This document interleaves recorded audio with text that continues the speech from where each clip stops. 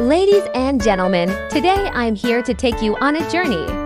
A journey that will ignite your passion for success and remind you that life is constantly setting you up for success.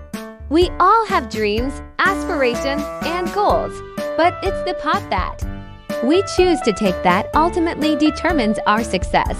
The story of Thomas Edison, who failed 10,000 times before inventing the light bulb teaches us that perseverance and determination are the keys to success.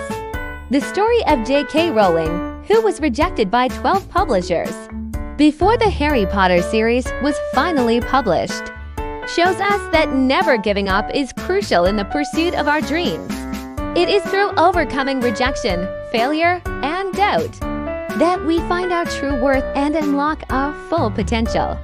The story of Mahatma Gandhi, who was once a slave in India and became a leader of a free nation, teaches us that humility, resilience, and nonviolence are the tools we need to transform our lives and make a difference in the world. So let us all carry these stories with us, for they are our beacons of hope and inspiration.